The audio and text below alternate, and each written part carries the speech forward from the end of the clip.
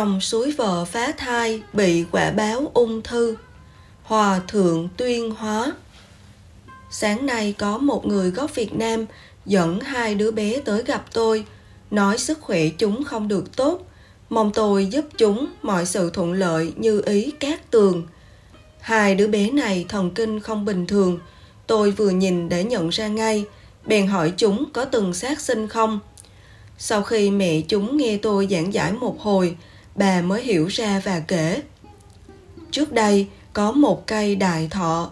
Họ đem chặt đi thì thấy dưới cây có hai con rắn. Chúng đã chui vào hang.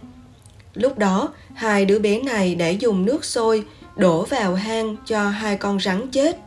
Sau việc làm đó, con trai cả của họ tự nhốt mình vào phòng.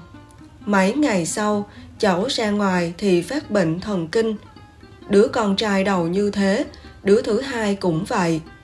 Cả hai đều bị bệnh thần kinh. Bà mẹ hy vọng tôi có thể giúp họ hóa giải việc này. Bệnh này liên quan tới sát sinh. Do họ hành xử tàn nhẫn, không có lòng từ bi. Hai con rắn đã chui vào hang rồi. Thế mà họ còn đổ nước sôi hại chết. Hai con rắn này vốn là hai anh em, bị họ hại bỏng chết thì họ cũng phát bệnh điên.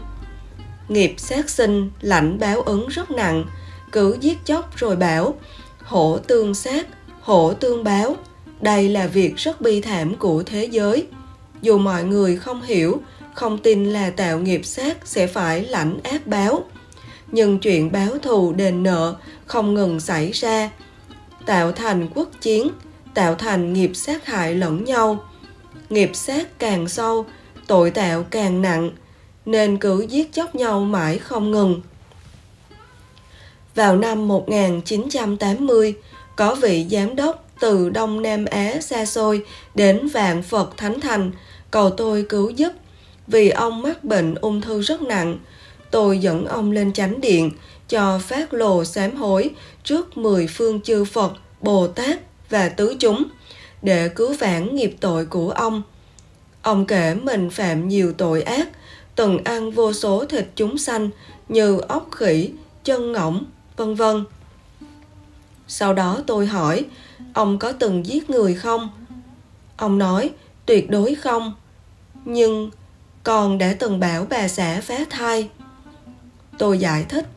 Vì vậy, ông phát bệnh nan y đáng sợ là do tất cả những sinh mạng này tìm đến đòi nợ ông.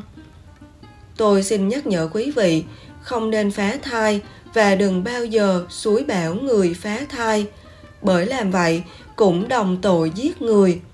Người trì giới thì có công đức trì giới kẻ phá giới thì có ác báo phá giới. Nói theo lý nhân quả dù quý vị có thọ giới và giữ giới hay không nhân quả luôn tồn tại vận hành. Hành vi sát sinh giết thai nhi là rất sai lầm. Theo luật nhân quả, chắc chắn quý vị phải chịu báo ứng đền trả. Tất cả những việc sát sinh này chỉ làm tăng thêm lòng oán hận, chiêu vời những bệnh lạ, quái ác vào thân, kèm những triệu chứng khác thường, khó giải thích và không chữa được. Bây giờ, ngoài ung thư, còn có những bệnh nan y khác. Những bệnh này đầu tiên bắt nguồn từ phạm giới tà dâm sát sinh ăn cắp, nói dối và dùng chất say, hút chích các chất ma túy. Khi mọi người đều giữ ngũ giới, thực hành thập thiện và ăn chay thì sẽ không có thiên tai và được hưởng rất nhiều phước báo cực lớn. Thậm chí, chỉnh cải tâm trong lành sẽ khiến nhiều người có thần thông và khai mở ngũ nhãn. Những câu chuyện bệnh hoạn báo ứng là có thật, là hiện thân thuyết pháp.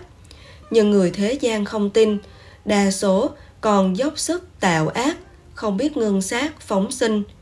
Nếu chúng ta muốn thế giới hòa bình thì mọi người nên giữ năm giới không sát không trộm cướp không tà dâm không vọng ngữ không uống rượu hay hút chích các chất ma túy. Nếu quý vị không tạo nghiệp xấu thì thế giới sẽ không có thiên tai, đau khổ, bệnh tật và người ta sẽ sống hạnh phúc.